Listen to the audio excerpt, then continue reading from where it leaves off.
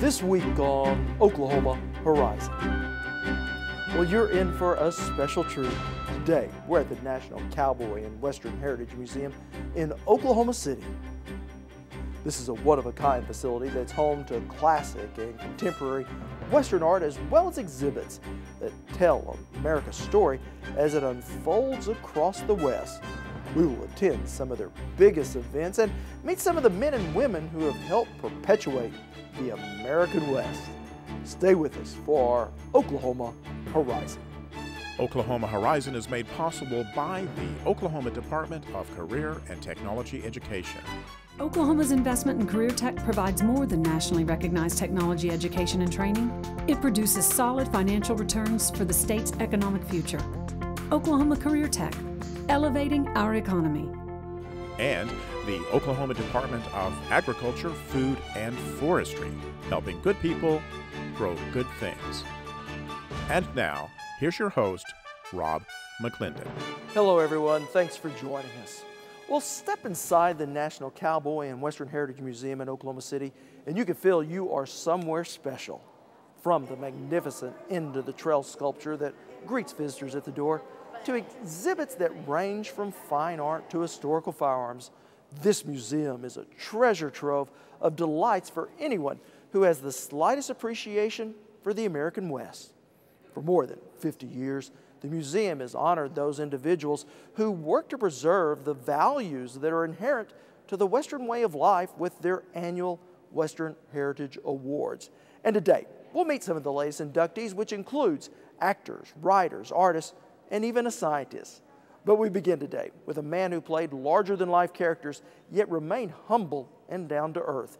And while he was Western through and through, he didn't gain his notoriety wearing a Stetson, but a coonskin cap.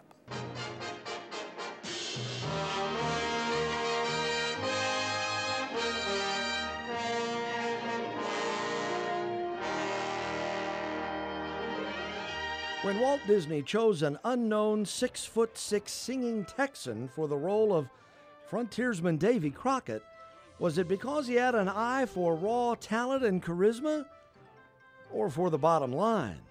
Dad has a, he, a couple takes on how that worked out. You know, he one part of him would like to think that Walt Disney was just blown away by his acting potential, and the businessman side of him realized pretty quickly that Walt Disney was a smart guy and figured he could get Fess for a lot less money than James Arness. Walt Disney had seen Fess Parker alongside James Arness in a 1954 sci fi thriller called Them.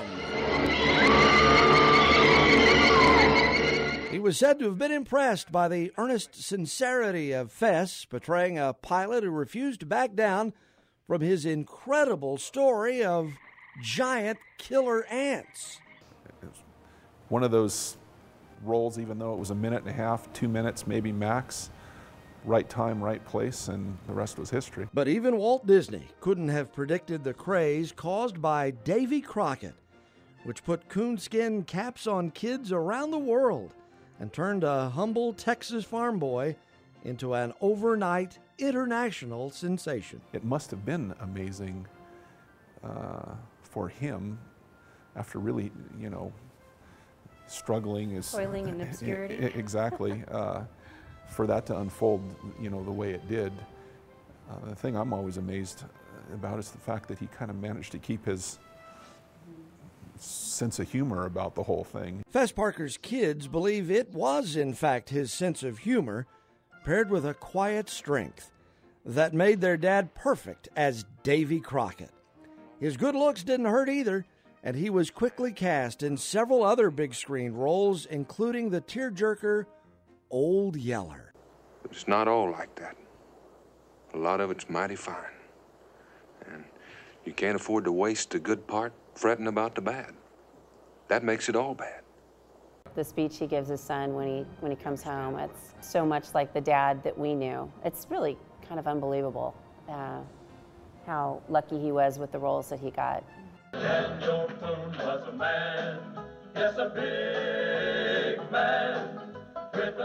Eli and Ashley remember their father best during his days as Daniel Boone in the late 60s TV series. He'd come home from the set and we'd put on his boots and they were like hip waders on us, you know, and he'd have his jacket and everything, and we'd wrestle around. And he was uh, he had to be away a, a fair amount, but he was a really hands-on dad when he was home. He really enjoyed the simple things in life. For you know, for the most part, he was a blue jeans and pickup truck kind of guy. Fess Parker's roots in ranching and an eye for real estate led him to purchase an acreage of his own north of Santa Barbara, near Los Olivos.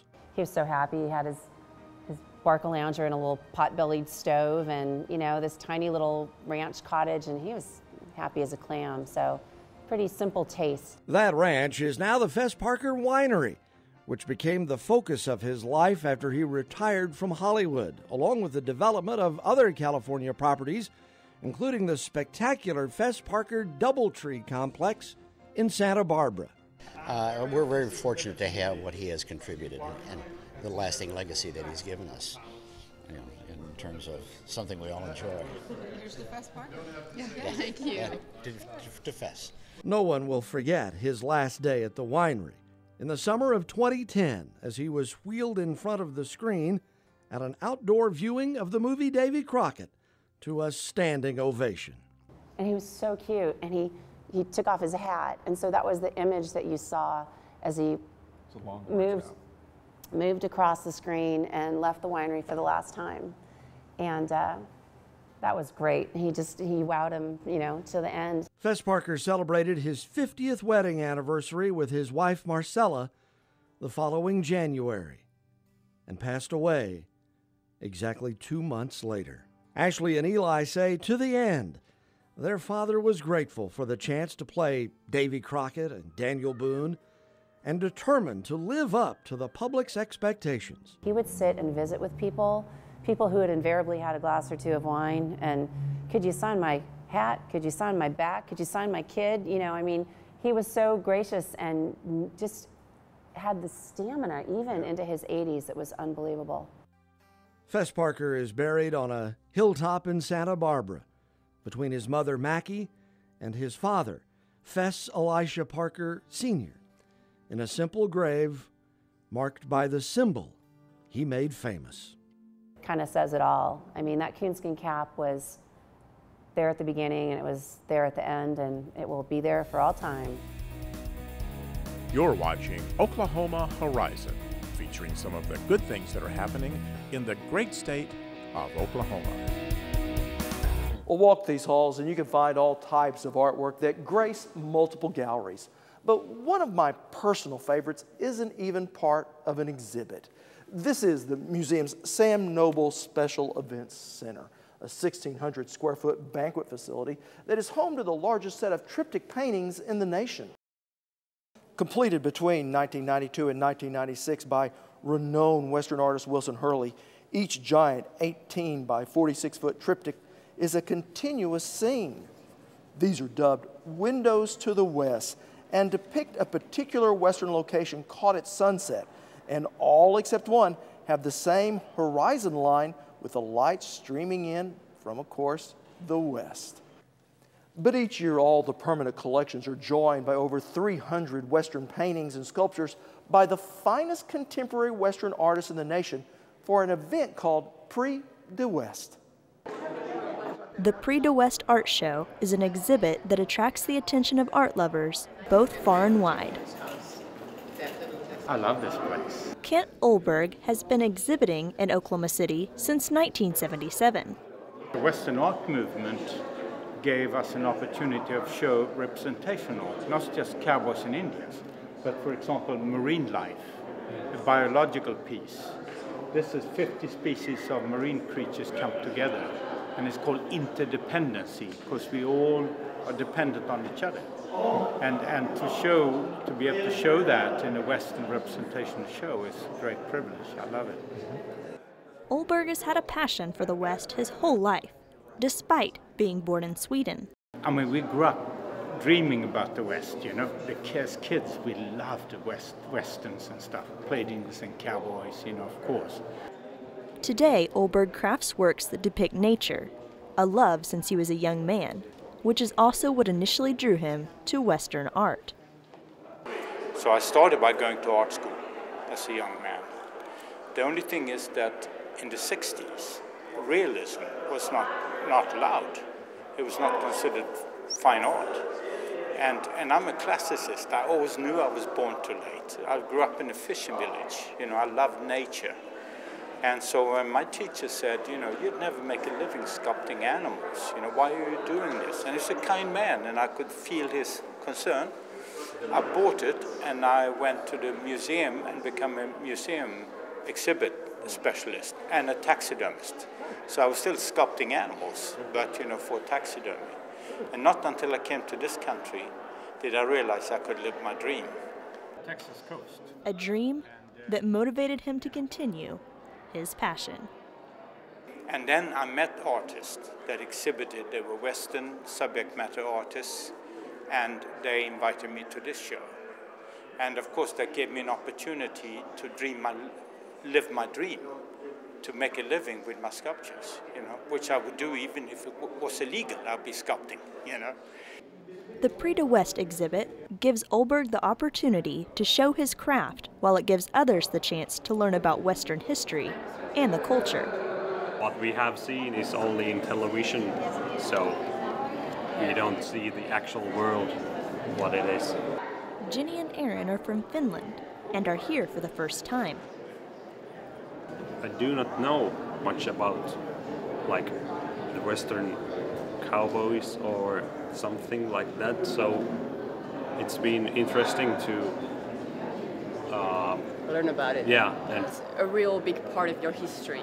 That's why, because yeah, and we don't have it in Europe.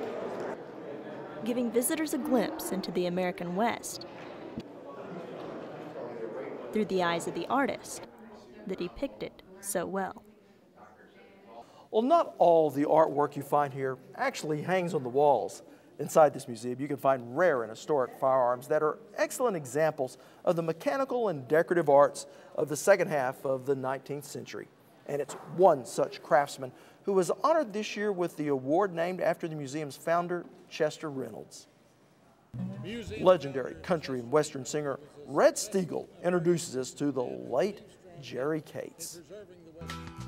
Ask anyone who knew Jerry Cates to tell you about the spurs he made, and they'll tell you first about what kind of man he was. Eventually, they'll get to talking about the quality of his work, which boils down to the fact that he was a cowboy who made spurs for cowboys. Jerry's extraordinary craftsmanship speaks for itself and is as dependable as the man who made it. All right, Jerry Cates, between 17, 17, All of which explains why Jerry Cates' work is a prized commodity at auctions like this one throughout the West. Five, five, five, 22. This is a great piece right there. Now, a true gentleman. He was very humble about his superior, really superior ability to create something that is usable but is pretty to look at. He just had an easiness, a calm about him, just a very pleasantness about him. But he was uh, diligent at what he did and is artistic at what is his craft. He was his worst critic, and if he didn't like it, he would be thrown out there in the junk pile and you never saw it again. And he would start over. So anything that he sent out, he liked. And I think that's uh, the most thing about him that he was nearly a perfectionist. Jerry Cates was a dad, a husband, a cowboy, and a spur maker who lived the kind of life a man could hang his hat on. I guess we all miss him, but that goes with it, you know. Uh, we have all this that we have left of him, and that's good, and it will last a long time. And his wife tells us it was the cowboy's life on a cowboy's budget that Jerry honed his craft early on. He couldn't even afford his own work because they sold for all of $25. And today, those same spurs are worth in the thousands.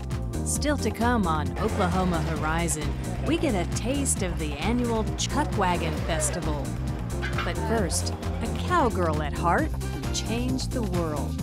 Well, diagnosed with autism as a toddler, Temple Grandin grew into a young woman who was quite simply a cowgirl with a vision of how animals see the world. She was able to translate that vision to the rest of us. And the result, a revolution in the cattle industry and too many honors to count. The latest being an inductee into the Hall of great Westerners. Temple Grandin was born in Boston in 1947 into a post war world with little understanding of autism, but a supportive family, good teachers, a love for animals, and an obsession that led to a calling would plunge her down a path that reinvented the cattle handling industry and forced the world to reconsider the boundaries of autism. During a summer visit to her aunt's ranch in Arizona, young Temple became obsessed by the squeeze chute used to hold cows in place for inoculation. She noticed the cattle relaxed once they were in the chute and wondered if a similar gadget could help calm her own, sometimes overwhelming anxieties. She designed a human squeeze machine, still used today by persons with autism. But that was just the beginning. The process made her realize that as a result of her autism, she shared some visual experiences and panic responses with herd animals. That vision led her to pioneer a new approach to cattle handling that included solid walled, curved chutes with non slip flooring to prevent overstimulation and agitation within the herd. The handling systems that she's designed I've been in multiple facilities myself and with Dr. Grandin, watched them working. The calmness that the animals uh, exhibit makes all of her her life's work worthwhile. It's estimated that half the cattle processed in North America pass through facilities designed by the towering figure now known as Dr. Temple Grandin. She introduced an entirely different way of doing things and talking about things and measuring things in terms of animal well-being and, and behavior. You can't name anybody else in the world that does what she does. The combination of, of thought and practicality and dedication to the animals and relationship with the industry and so forth. Dr. Grandin is an internationally acclaimed speaker, author, and Colorado State University professor whose simple philosophy that nature is cruel but we don't have to be has become an industry mantra. Her professional accomplishments transcend the cattle business and offer a model of success for those in the autism community. When my son was diagnosed in 1990, the very first book that I read was Temple's book. She took what her experiences were, she gave them to us. She wrote about them, she talked about them, she shared her life. And that became our beacon. She lives a very important life, and it's impacted me and thousands and thousands of people like me. When HBO turned the story of her early life into a movie called Temple Grandin, millions were captivated by the tale. Got any idea what your major might be? Science, probably psychology. Oh, you don't have to decide just yet, do you? It's Bigger than boarding school. That's great. Lots Danny's of choices. looking at you. So you can see all around without moving his head. So how do you know where he's looking? His ears. He points his ears where he's looking. See? He's looking at you, and he's looking at those cowboys. Something about this movie, something about her story really reaches to people. And I think it's, you know, they look at it and they, they see this is not the story of someone unlike me. This is the story of someone like me that I can relate to. Trust me, we know how different she is. Different, not less. Different, but not less. I've made television movies. I've, I've made big feature films, you know, some of them costing over $100 million, and I've made very tiny movies. Um, this is the one I'm proudest of, this movie. There is nothing like this. And if I did nothing else in my career, I would have done something really, really worth doing. We know what we see when we look at animals. Temple taught us what they see when they look back. That's her gift. Now, if you'd like to hear more from Dr. Grandin, we have a full 20 minute interview with her on our website. Just go to okhorizon.com and click under this week's Value Added. Well, each Memorial Day weekend, the land surrounding the museum takes on a whole new look of the Old West as chuck wagon crews from around the United States prepare some true cowboy favorites for folks to sample. And our Andy Barth was there with his fork in hand. With the horses hitched and the music cued, it's time to get cooking. Part of our mission is to capture the heritage of the American West and deliver that, if you will, to interested people all over the world. I, have told people. Chuck Schroeder is the executive director for the National Cowboy and Western Heritage Museum and says the Chuck Wagon Gathering is a time for good food and education.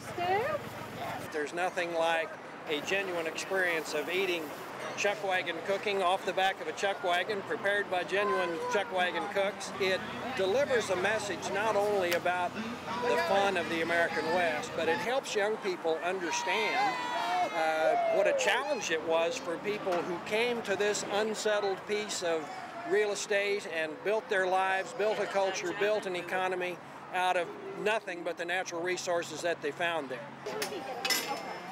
And helping spread the message of the American West is Chuck Wagon cook Trammell Rushing.